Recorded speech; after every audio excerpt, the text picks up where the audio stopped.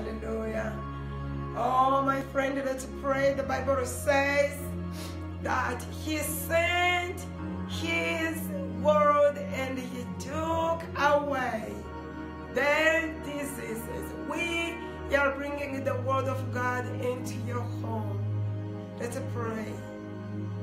Father, we lift up your holy name. Glory, glory, glory to the name of Jesus. No matter what you're going through, begin to praise Him. Begin to lift up His holy name, even in the midst of your enemies, in the midst of difficulties. Begin to worship God. Begin to give Him glory. Begin to glorify His name. Oh, Father, let there be healing as people watch, as people listen to the word this morning. Let there be healing. You have come, Jesus, to give us life and life abundantly.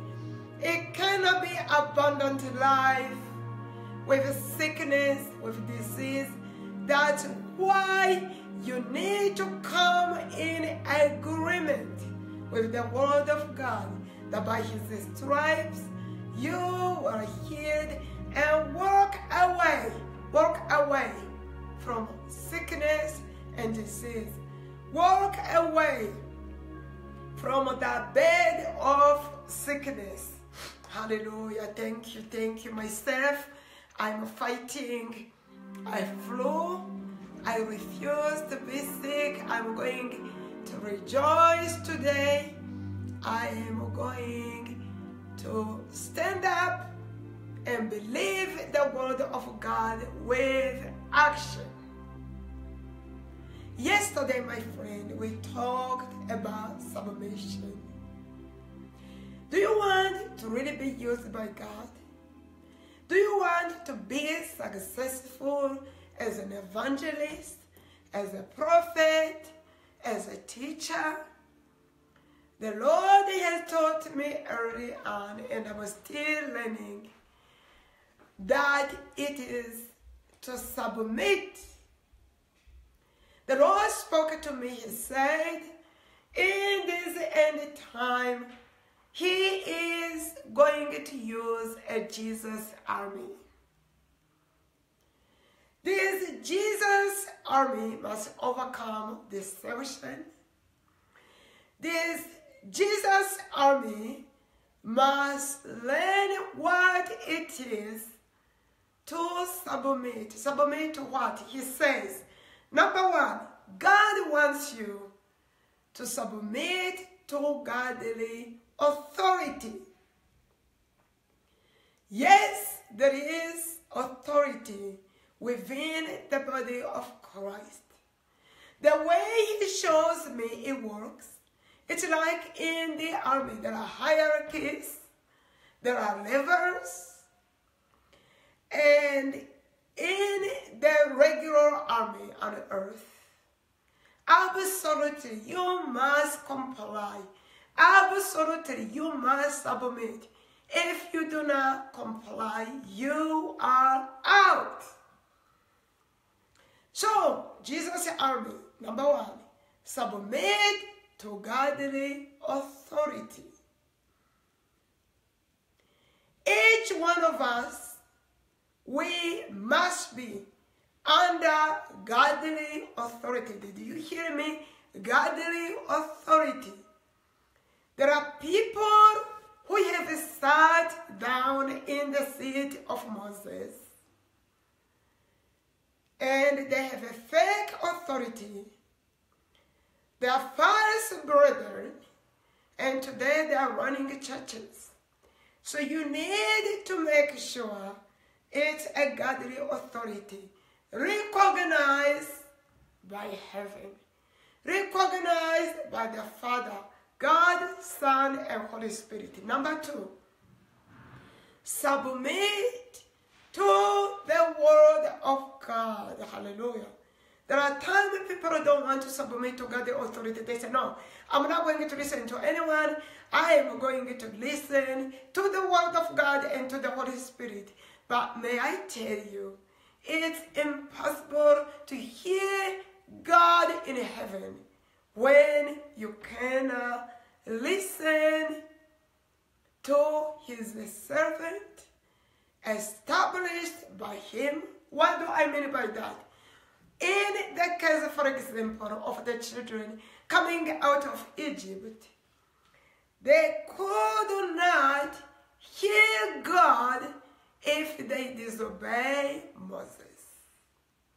They could not hear God if they refuse to submit to what Moses was telling them because in the first place, Moses received the instruction from God Almighty. Do you remember those times he went on the mountain for 40 days?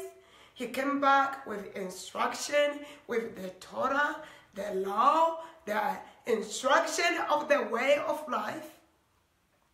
Can you imagine if they say, no, no, no, we're not going to listen to Moses, we listen to God himself. I tell you, I've known the Lord for a long time. I have worked with him. If you're not going to listen to Moses, who has his instruction, God himself will not speak to you. So it's very important to listen to the authority established by God. Be very careful. In this age, in this day, and in this hour, there are those people who are self-appointed. Number three, listen and submit to godly counsel. Godly authority, godly counsel, godly, uh, and the word of God. Those three things are very important. Why do we have to listen to the authority? Authority is something established by God because the way heaven operates, it operates by the government of God, which government is extended on earth. In the book of John, chapter 21, after Jesus has risen from the the Bible tells us he appeared to the disciples. This is the third time he has chosen to reveal himself to the disciple and this time he is going to talk to Peter. In John 21, verse 15, the Bible says, So when they had finished breakfast, Jesus said to Simon Peter, Simon, son of John, do you love me more than it is? He said to him, Yes, Lord, you know that I love you. And he said to him, Tend my lambs. He said to him again a second time, Simon, son of John, do you love me? He said to him, Yes, Lord, you know that I love you. Jesus said to him, Shepherd my sheep. The third time he said to him, Simon, son of John, do you love me? Peter was grieved because he said to him the third time, Do you love me? And he said to him, Lord, you know all things. You know that I love you. And Jesus said to him, Tend my sheep. The word he attend my sheep, it implies you be the shepherd. You remember in John chapter 10, it talks about a good shepherd. In other words, he is saying to Peter, listen, I am gone. I'm not here on earth anymore. In the physical, people, even though I visit the earth, but people won't be able to recognize me because their spiritual eyes are not open. But they can see you. So you are going to be my honorary shepherd. The greatest mistake is if the sheep refuse to listen to Peter. So these order in the church has been established by God.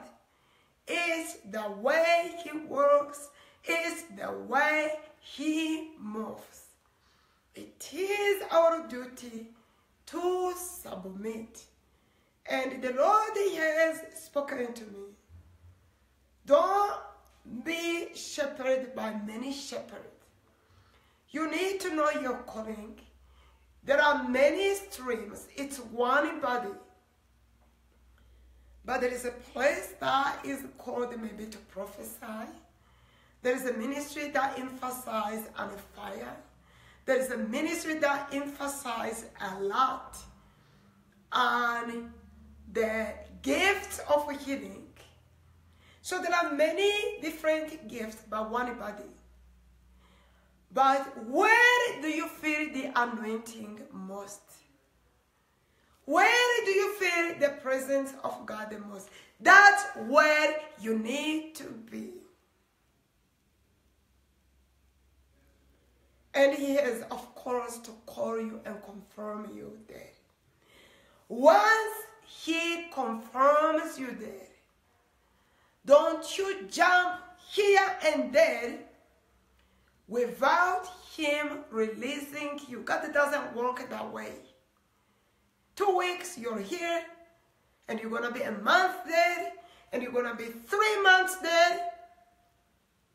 And so, you don't want it that way because that alone shows you that there is a problem of submission. Be established. I have people in this church who began with me. They've been here ever since 2006 in the full time. So they have been with me 12 years and they are not planning to move out because we are in this calling together. We are running this ministry together. So it's very important that you submit to Peter, whoever Peter it is. And it's very important that you be the sheep my sheep hear my voice. My sheep hear my voice, and they follow me. The sheep submit. The sheep obeys. Hallelujah. There is another verse I want to give to us. It's in First Peter chapter 5 and verse 5, it says, You young men likewise, be subject to your elder, and all of you clothe yourself with humility toward one another. For God is opposed to the proud, but he gives grace to the humble. You've been crying out to God and you say, I don't want anything to see with pride. One sign that shows that there is a pride in people is when they cannot submit. The devil has always wanted to be above God or at least to be like the Most High. We cannot seek the seat that is high above. Look, I am here pastoring, evangelizing, and doing the work of the apostle. But you know, in my life, I never thought that. In my life, I wanted to be a doorkeeper. I wanted to get married, serve God, of course, but be a good wife and uh, a good mother. I never wanted any of this. But God called me to do this and I responded. Hallelujah. But I did not seek the position. I did not seek the power and the authority. So when you go low, it's when he will lift you up. So my friend, seek to remain low. Bow, bow, bow low, so that he may be exalted, so that he may be lifted up. When it says, young men here, likewise be subject to your elders, it doesn't mean all the people in the church. The elders here means whoever God has put in authority. There are people in my church who are way, way much older. I look at them like my dad or my mom or my uncle. But you know what? Even though they're much older, they submit to me because God has put me here. But do you also know why they submit to me? It's because I'm also submitted to them. We submit to one another. I listen to them. I give a good ear to each one of them. And I take everything before God in prayer. We submit to one another. We do not work in competition. We protect each other's anointing and we respect one another. Finally, Hebrews. Hebrews 13. Let's go to Hebrews 13 and verse 17.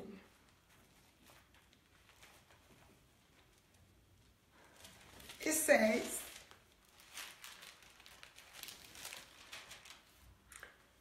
The other day, someone was saying, what, what is the verse that says I need to submit to you? Here is a good one. Obey your leaders and submit to them. Obey your leaders and submit to them, for they keep watching over your souls as those who will give an account. A good pastor prays for you. A good pastor lifts you up before God. When you need a counsel, a good pastor will be there for you. In my church, we do not make those appointments where you have to wait a week, two weeks. No. When you come to the service, we do it right there. We meet. So, obey your leaders and submit to them. They will give you counsel and then you will submit. In my church, God demands such an obedience that even before people go on vacation, they always ask me. Why they don't ask me? I just admire the humility that's in them because it speaks volume for me. Number one, the Lord has made it very clear that they are blessed when they seek counsel. There are times people come and they seek counsel. Is this a good time to go on vacation? Why? Because there are times people have gone and they've been, bad things happen. They want to go with the blessings. People ask me, is this a person I should marry? What do you think? I think that's a good thing to do, to seek godly counsel. When you do that, it shows how you are submitted. So for they keep watching over your soul as those who will give an account. Let them do this with joy and not with grief, for this will be unprofitable for you. Make easy the job of a pastor. You know, being a pastor is not easy. I used to think being a pastor is great. I'm going to just be up there speaking, but it's a lot of work. It's like raising a family, and I enjoy doing it.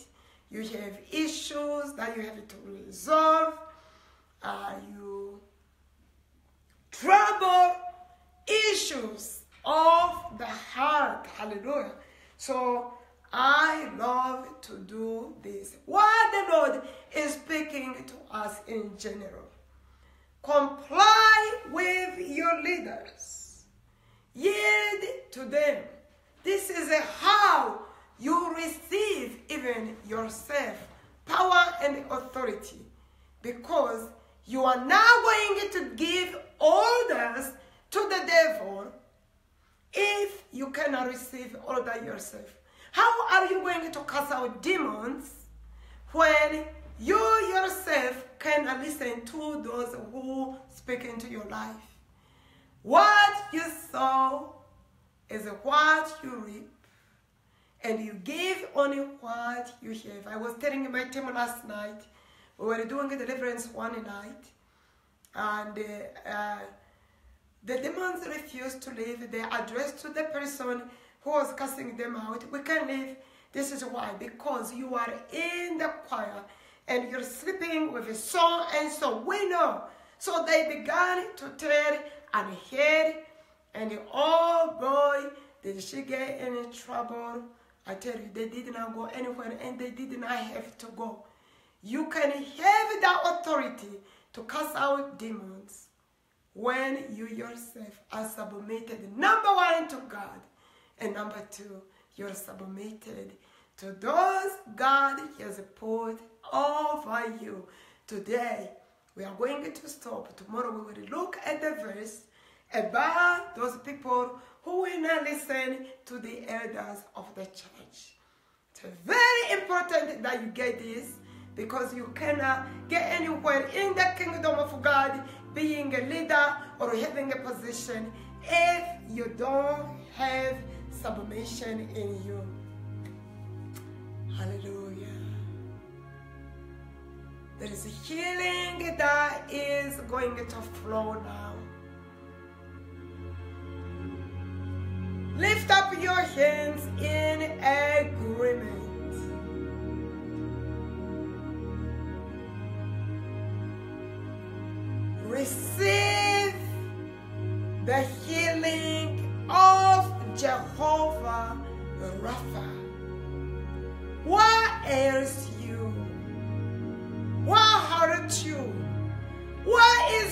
Issue? In the name of Jesus. I declare that his power is mighty to save. His power is mighty to heal. His power is mighty to deliver you.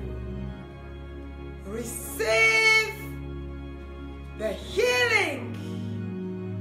Receive the blessing, healing, holy fire in the name of Jesus. The gates of hell, including sickness, disease, and infirmity, they will not work against you. Hallelujah. There's someone who is watching. You've been wanting to have children and you don't have children. In the name of Jesus Christ, I break any curse spoken over you.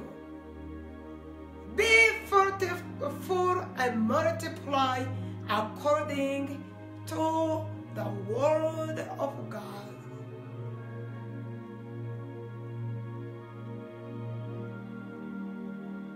There are people watching with the issues in your stomach, women issues, pain and sickness. For when you have your periods, in the name of Jesus, I speak the